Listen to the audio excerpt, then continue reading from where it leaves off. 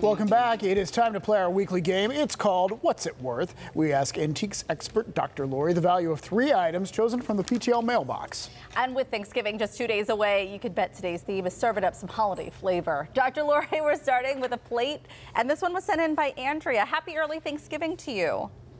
Happy Thanksgiving. I'm thankful for all of you. We're thankful for Oh, you, we're Dr. thankful Lori. for you. Yeah. All right. So talk to us about this plate because everything has a turkey theme this week. Is that right? Yeah, well, you know, we're in the mood, right?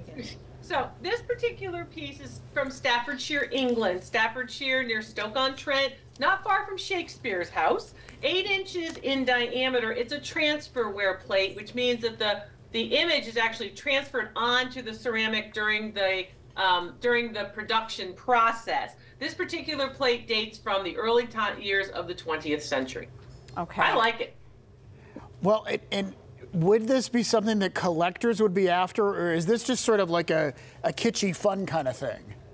Staffordshire is very desirable. A lot of collectors look for it. Um, these are cabinet plates because you're not supposed to eat on a plate Right. that has all of this decoration. It's just for nice, as my mother would say. Mm, okay. No food on it, just for display or on your table when you make the table look pretty. And then those those dishes get swooped away before you eat.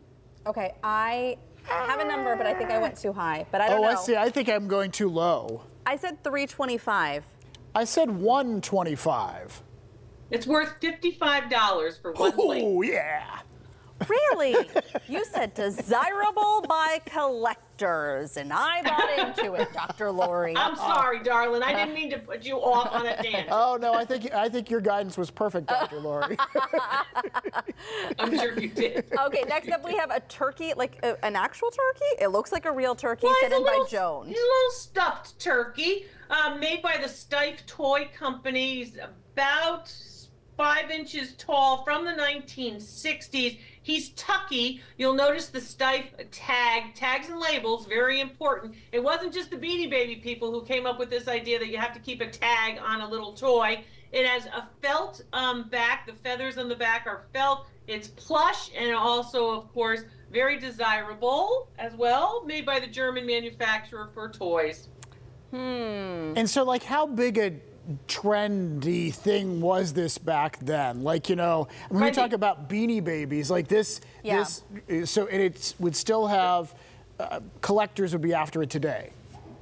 Steiff was very, very popular the early part of the 1900s and made a big comeback in the 1950s and 60s. And a lot of people wanted a Steiff turkey for their display, for their centerpieces at Thanksgiving. So that is a desirable and collectible piece. It is cute. Little though. Not it's any little. bigger than really this little turkey that's sitting here Oh, you me. have a little turkey right there. Okay, I don't know. Oh. I'm going. I'm going. Okay. Noises make me think better. Sorry. Are you ready? Okay? I said Okay. sixty-five dollars. I went higher than that. I stuck with my 125. It's worth $75. Heather's very Oh, close. okay. This is our make or break, Dr. Lori. Make or break. And we have another turkey. This is a wooden one sent in by Vivian. How? Yeah, Vivian sent in a piece of folk art, American folk art, by a well-known American folk artist named Bonnie Barrett. It's signed. It is, of course, the Thanksgiving turkey, and uh, this one is hand painted. It's 25 inches by 25 inches, roughly. And, and would this be something you'd put in your yard? Where would you put this? Uh, the person who took the picture put it in the yard probably to give me sunlight so I could see the photo, which is a good idea when you're submitting pictures for for um, what's it worth. But typically that piece would be reserved for the home. It's an American folk art piece. A lot of people collect American folk art. See, she's doing that thing again. Yeah, where she builds it up, and, Yeah. you, don't, and you don't know. Is this the, is this artist somebody that people would be after? Well Yes. known American folk artist Bonnie Barrett. Okay, all I right. know. Not All making right. it easier for you. No, you're not. Should we go big with this? Would you say we should go big? Come on, David. Come on. Give me a number. Okay, I said 120. I'm sticking with what. Sooner or later, something's going to be 125. I wrote it again.